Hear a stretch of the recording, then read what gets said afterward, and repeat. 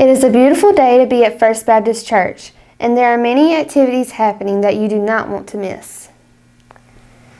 Let's take a look at this week's announcements. Young at Heart will make their way to USC this Thursday. Tickets are available for $35. For complete details, please contact Gail Wolf. Steak and cake tickets are now on sale. This annual event boasts great food, fantastic company, and supports international missions. Don't miss out on the fun this February 11th at 5.30 p.m. at The Merge. Life Your Way to a Better Marriage with Kristen Huber's Sunday School class.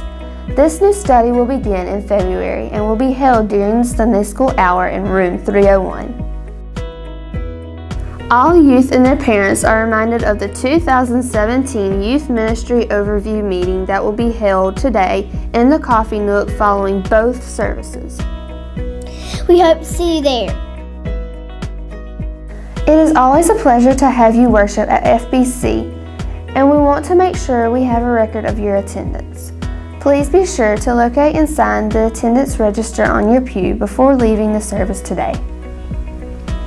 Join us on the campus of FBC to be a part of these and many more exciting activities. And don't forget to follow us on Facebook by liking FBC Barnwell.